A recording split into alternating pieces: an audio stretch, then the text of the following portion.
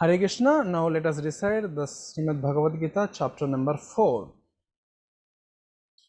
Sri Bhagavan Uvacha Imam Vivasvate Yogam Proktavanahamavyayam Vivasvan Manave Praha Manoriksha Kave Bravit Evam Parampara Praptam Imam राजर्षयो विदुः सकाले नेह महता योगो नष्टा परन्तपा।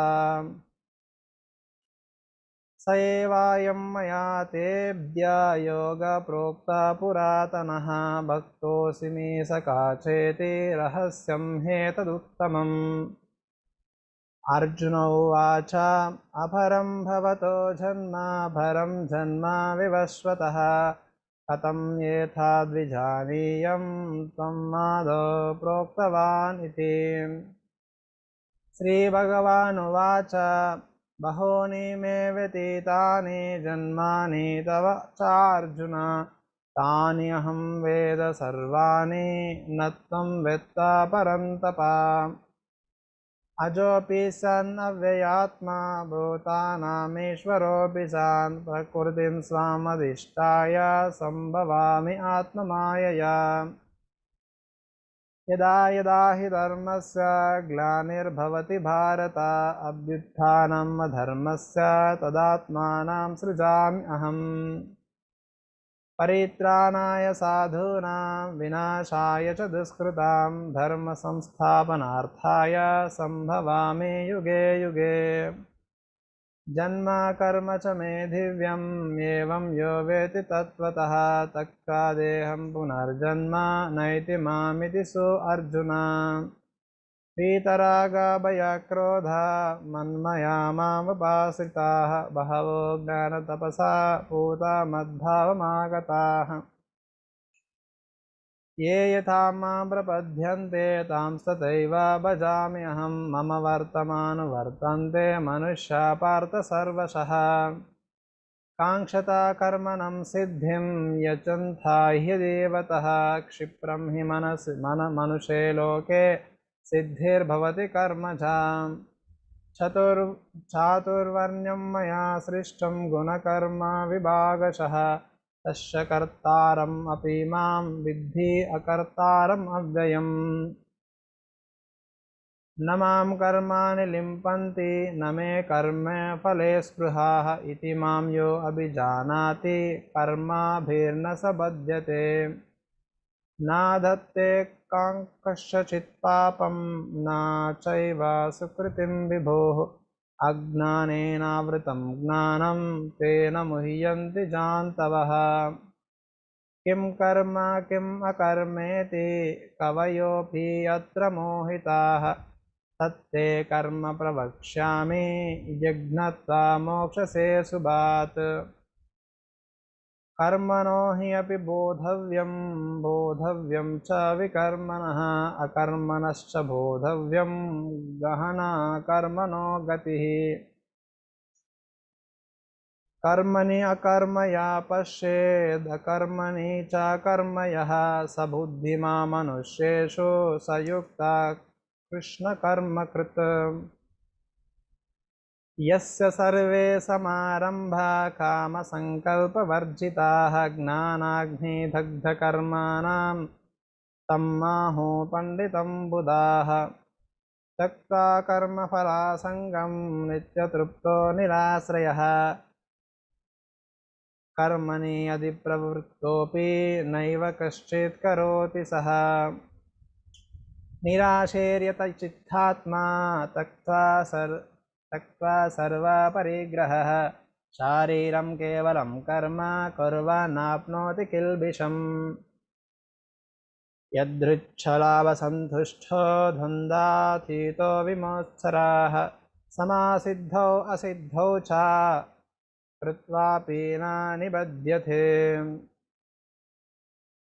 गतासङ्गस्य मुक्तस्य ज्ञानावस्थितचेतसाः यज्ञायाचरत कर्म समग्रं प्रविलिष्यते।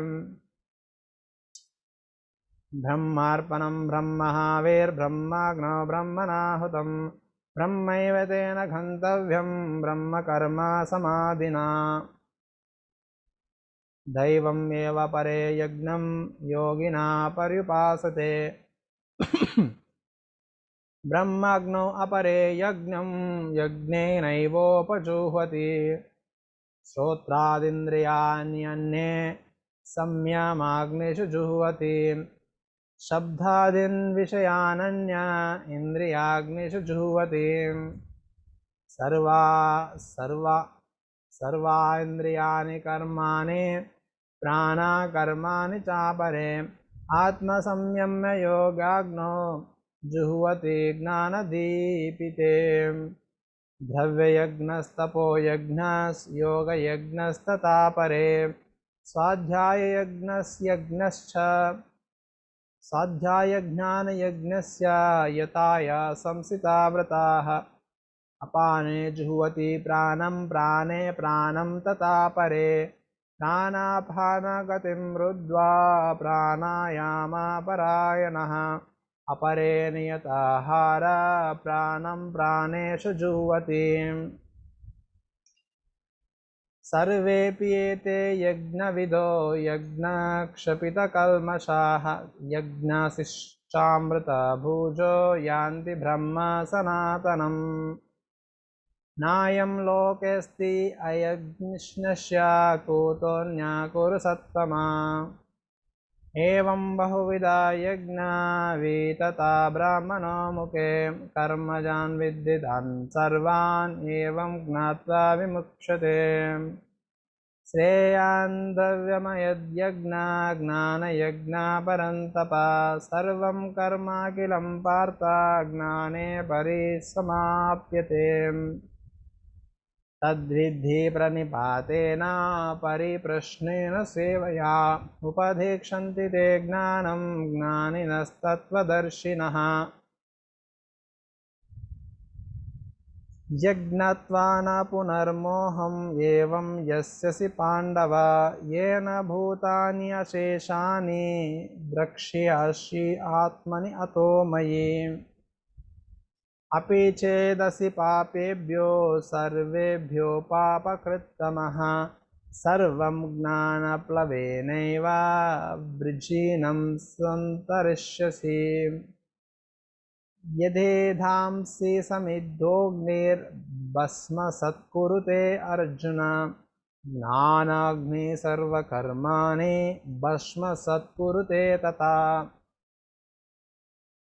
नाहि ज्ञानेन सदृशं पवित्रम् इह विद्यते। तत्स्वयं योगसंसिद्धि कालेनात्मनि विन् विन्दति श्रद्धवा लभते ज्ञानं तत्परा संयतेन्द्रियः ज्ञानं लब्ध्वा परं शान्तिम् अचिरेणाधिगच्छति।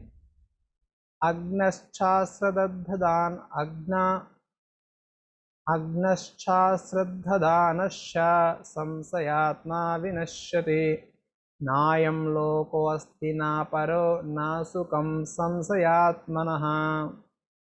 योगसन्न्यष्टकर्माणां ज्ञानसञ्छिन्नसंशयम्। आत्मवन्तं न कर्माणि निबध्नन्ति धनञ्जयाः तस्मादज्ञानसम्भूतं हृत्स्थं ज्ञानासिनात्मनः हृत्स्थं ज्ञानासिनात्मनः। चित्वैमं संशयं योगम् आतिष्ठोतिष्ठ भारत